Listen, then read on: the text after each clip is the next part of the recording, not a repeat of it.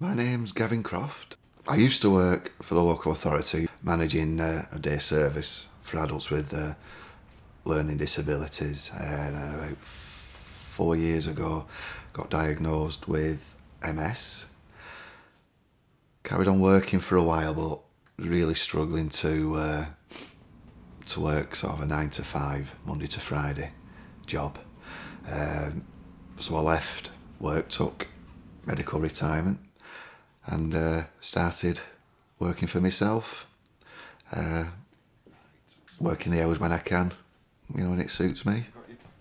Start with your, uh, your support plan. Yeah. Um, what we'll do then, we'll scan um, some of the photographs that you want.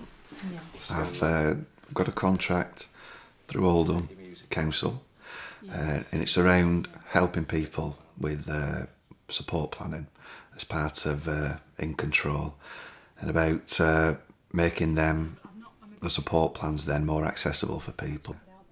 I did a DVD for myself of my own plan with my music and the sort of things I liked. I was asked by other people, could you do one for me then? It's easier to show a DVD than to go through the support, the written support plan every time there's a new person there. They can just stick a DVD on, and everything's there. And it's it's it's more personalised. You can personalise it with your own photographs, with your own music, uh, anything anything you want in it, really.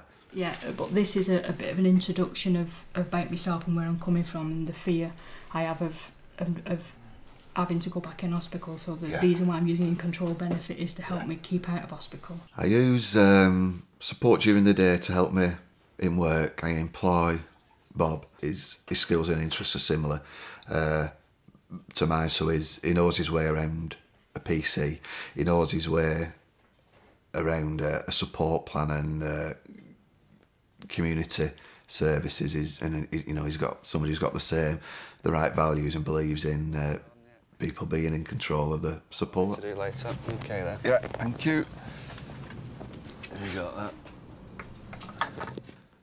What's good about being in control of my own sort of money and funding is the the freedom to carry on doing the things I always did. So things like you know going to going to football, um, being able to get out and about in the electric electric wheelchair.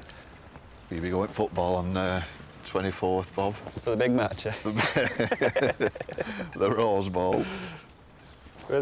Yeah, one of the things I uh, I spend the money on that's that's in my support plan is uh, to go to football.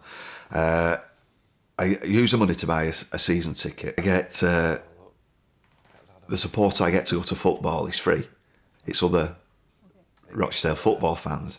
They'll come and pick me up, take me down, uh, away matches as well.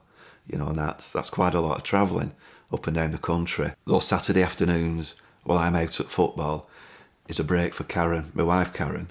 It's you know it's respite for her. Oh, I'd recommend uh, anybody take it, especially people who've used uh, traditional services in the past, because you can really, really see the difference. I used to work in a traditional service, um, and even though I think I tried to do the best that I could for people, I wouldn't want a traditional service now. I wouldn't have anything. I wouldn't do it any other way than uh, directing my own support.